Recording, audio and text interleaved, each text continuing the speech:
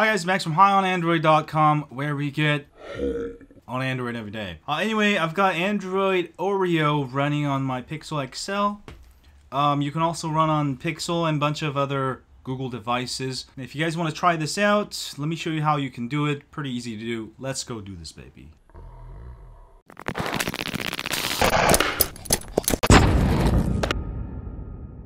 This method will erase everything on your Google device.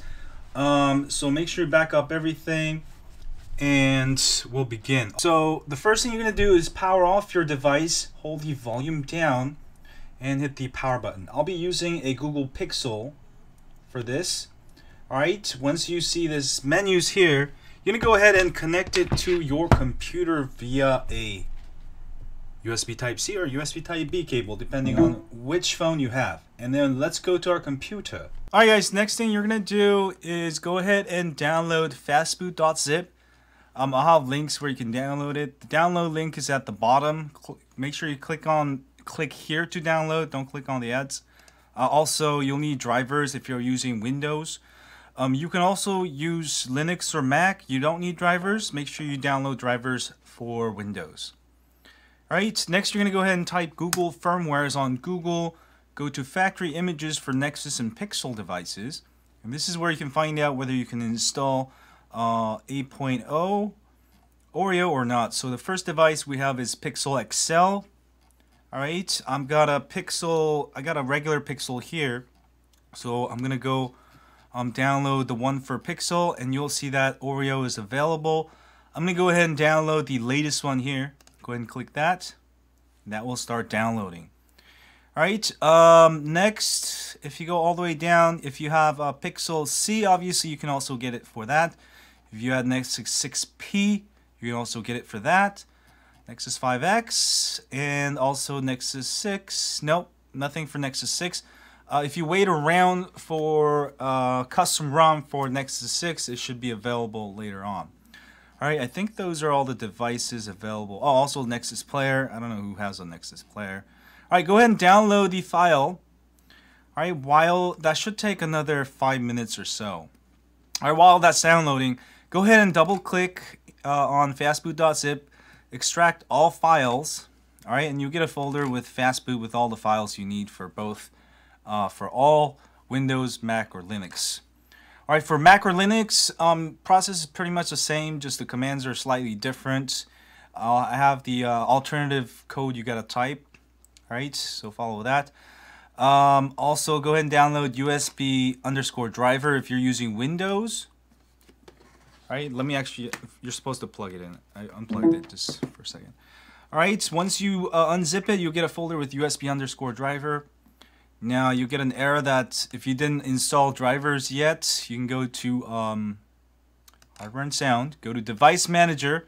If you don't know how to get a device manager on your Windows, um, go Google it. Alright, you should see an exclamation mark with Android, uh, or it could say Pixel or whatever your device. Double click on that, go to update driver, and then don't click on the search automatically. Click on browse my computer for driver software. And don't click on here. Um, click on let me pick from a list of device drivers. Click on show all devices. Next, have disk, browse, go to your download folder. Oops. Um, go to your download folder and go into the USB driver folder you just unzipped.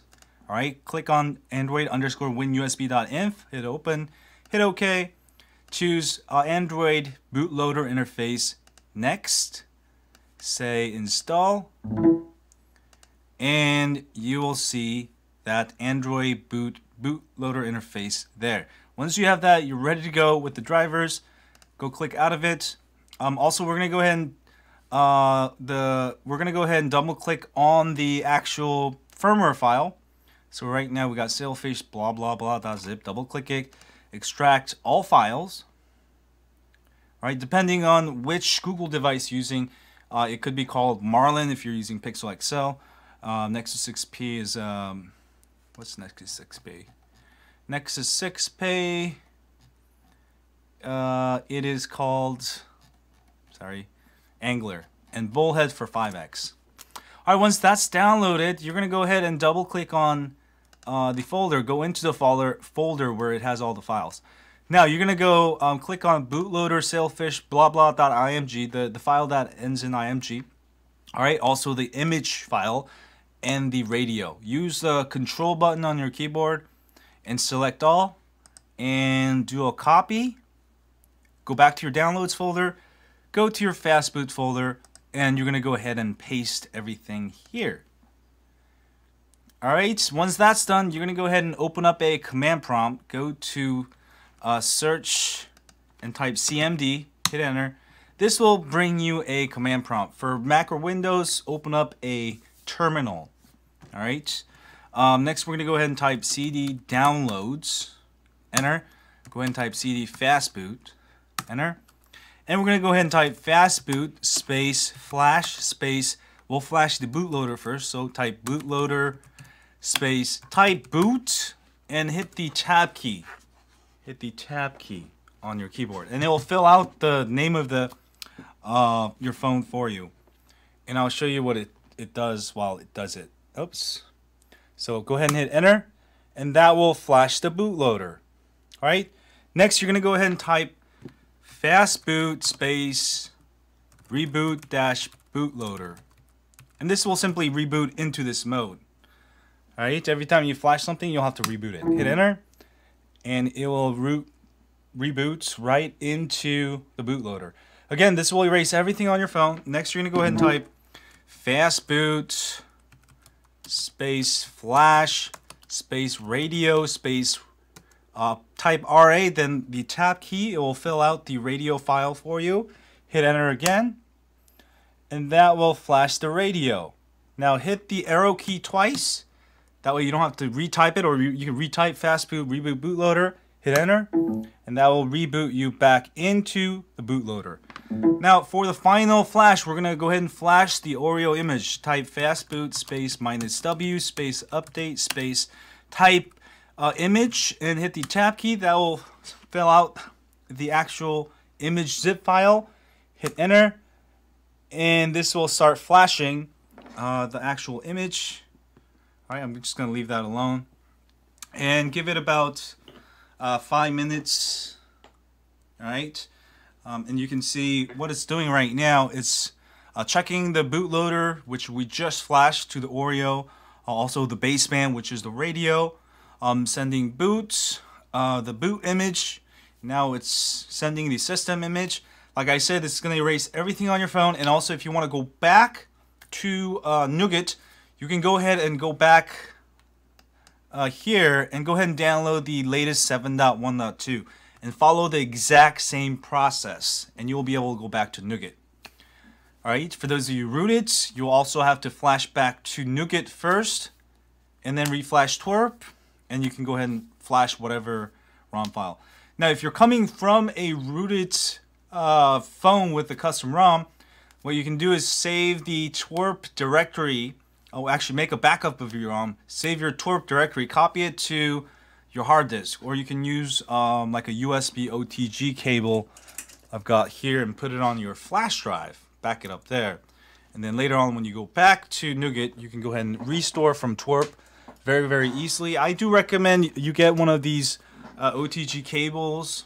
Um, this is actually for USB Type B, but get one for USB Type C. Um, that way you can use it with your Pixel. Well, depending on which phone you have. Um, but I think, yeah, right now, only USB Type C devices are supported for this new firmware.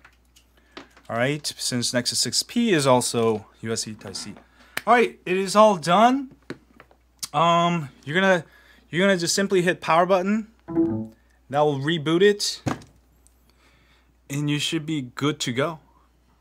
All right, we'll go ahead and take a look.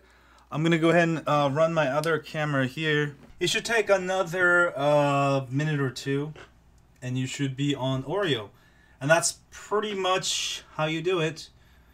Um, but we'll wait till we actually get to the screen. Now I'm really looking forward to Pixel 2. I hope Google really improved upon it. Ooh, look at that. There you go. So that was really cool, that little animation. Um, that's pretty much it. Go ahead and sign in. And now you should be able to enjoy your Oreo uh, 8.0 on your Google Pixel. And thanks guys for watching this video. Don't forget to hit the thumbs up. Don't screw yourself up like last time. Uh, subscribe, and I'll see you guys soon. As always, stay on Android. Click here to subscribe. I'm, I, I, I, I, I, I, I.